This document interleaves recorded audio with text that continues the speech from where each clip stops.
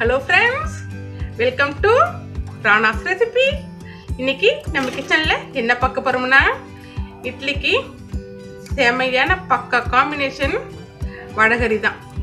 Very simple recipe very ஹெல்த்தியான டேஸ்டான oil இல்லாமல் ரெசிபி தான் செய்ய போகிறேன் வாங்க ஃப்ரெண்ட்ஸ் பார்க்கலாம்.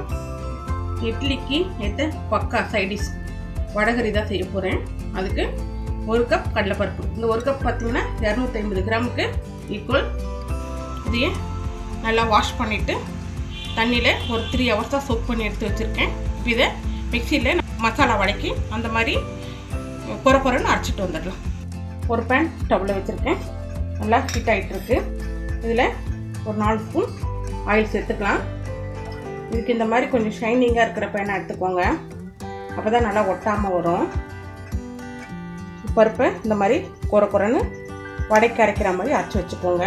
தண்ணிலாம் இல்லாமல் ஃபில்ட்ரு பண்ணிவிட்டு இந்த மாதிரி குறை குறைன்னு அரைச்சி வச்சுக்கோங்க. இதில் சேர்த்துருவோம்.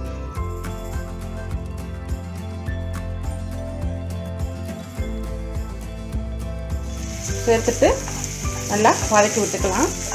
இது பார்த்தீங்கன்னா இந்த கடாயில் ஒட்டாமல் ஒரு மாதிரி உதிரி உதிரியாக வரும். அந்த உதிரி உதிரியாக வரப்போ நம்ம எடுத்துக்கலாம். இப்படியே கைவிடாமல் கலரி விட்டுட்டே இருங்க. இல்லைன்னா அப்படியே அடியில் தீ பிடிச்சிடும். அப்படியே அடி பிடிச்சிடும் கருகின மாதிரி வாசனை வரும். அதனால் இப்படி கைவிடாமல் கலந்து விட்டுக்கிட்டே இருங்க. மீடியமான ஃபயரில் வச்சு ஒரு ஃபைவ் மினிட்ஸ் கலந்து எடுத்துக்கோங்க. பார்த்தீங்களா இந்த மாதிரி கடாயில் ஒட்டக்கூடாது. நல்லா ஒட்டாமல் வருது பார்த்தீங்களா நம்ம பூந்தி லட்டு பொரிச்ச மாதிரி இருக்குது பாருங்கள் இதுதான் கரெக்டான பதம். எடுத்துருவோம். வேறு ஒரு ஃபேன் ஸ்டவ்வில் வச்சுருக்கேன். ஹீட் ஆகிடுச்சு இதுக்கு ஒரு ரெண்டு ஸ்பூன் ஆயில் சேர்த்துக்கலாம். ஆயில் ஹீட் ஒரு ஸ்பூன் நெய் சேர்த்துக்கலாம். தேவைன்னா நெய் சேர்த்துக்கோங்க. வேண்டான்னு வேண்டாம். ரெண்டு பிரிஞ்சி இலை பட்டை கல்பாசி ஏலக்காய் கிராம்பு ஹோல் ஸ்பைசி எடுத்து வச்சுருக்கேன். சேர்த்துருவோம்.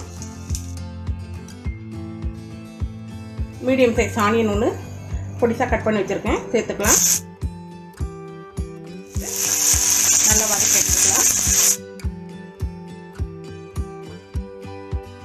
வெங்காயம் நல்லா இந்த அளவுக்கு வதங்கி வரணும். இதோட மீடியம் சைஸ் தக்காளி ரெண்டு கட் பண்ணி வச்சுருக்கேன். சேர்த்துக்கலாம். சேர்த்துட்டு நல்லா கலந்து விட்டுக்கலாம். இதோட ஒரு ஸ்பூன் இஞ்சி பூண்டு பேஸ்ட் சேர்த்துக்கலாம். சேர்த்துட்டு நல்லா கலந்து விடுங்க.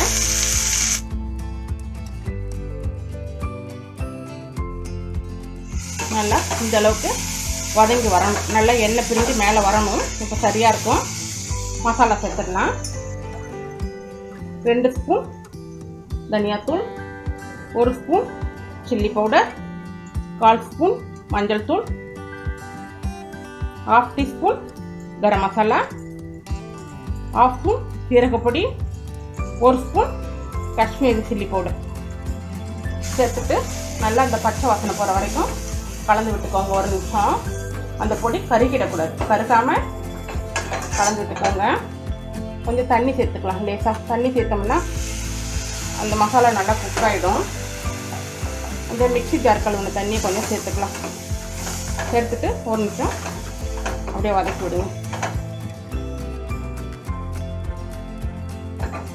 பார்த்தீங்களா இந்த அளவுக்கு நல்லா மசாலா வதங்கி இருக்கணும் இந்த அப்போ தான் இந்த பச்சை வாசனை இல்லாமல் இருக்கும். இப்போது இந்த மிக்சி ஜார் கழுவுன தண்ணியை சேர்த்துக்கலாம்.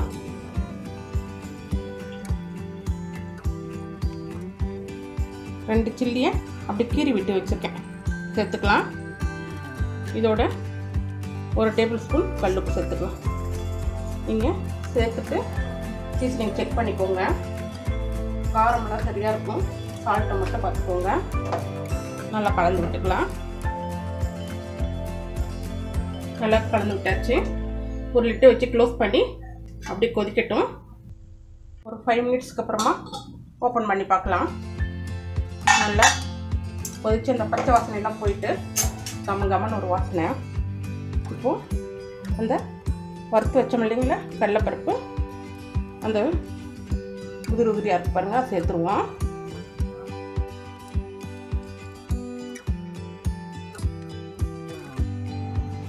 நல்லா கலந்து விட்டுக்கலாம். கலந்து விட்டு திரும்பவும் லோ ஃபயரில் வச்சுட்டு ஒரு ஃபைவ் மினிட்ஸ் அப்படியே குக் ஆகட்டும். ஓப்பன் பண்ணி பார்க்கலாம்.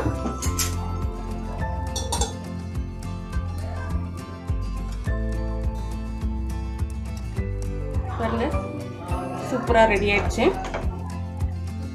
எடுத்துருவோம்.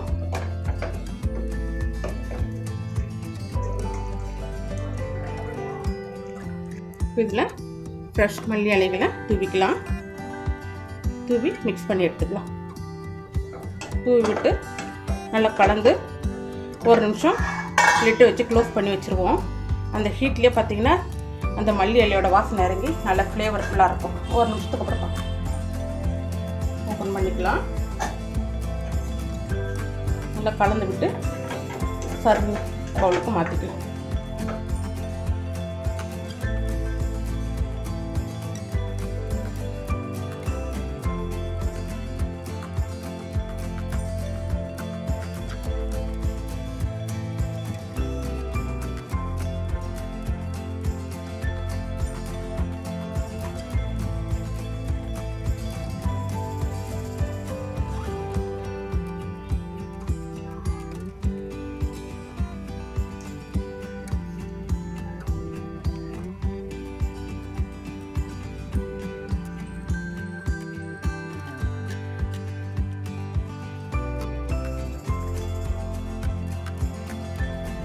ஃப்ரெண்ட்ஸ் இந்த ரெசிபியை ட்ரை பண்ணி பாருங்கள் வடகறி பார்த்திங்கன்னா நம்ம மீதம் உள்ள வடையை வச்சு செய்வோம். இல்லைன்னா வடையை பொறிச்சு போட்டு செய்வோம். இது ரொம்ப ஹெல்த்தியானது நான் ஆயிலில் எதுவுமே பொறிக்கவே இல்லை. நம்ம சைடிஷ் பண்ணுற மாதிரி தான் குருமா இதெல்லாம் பண்ணுற மாதிரி ஹெல்த்தி வருஷனில் செஞ்சு காமிச்சிருக்கேன்.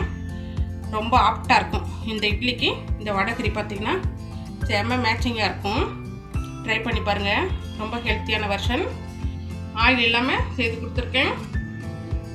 நம்ம சேனலை லைக் பண்ணுங்கள் ஷேர் பண்ணுங்கள் கமெண்ட் பண்ணுங்கள் சப்ஸ்கிரைப் பண்ணுங்கள் தேங்க்யூ தேங்க்ஸ் ஃபார் வாட்சிங் பாய்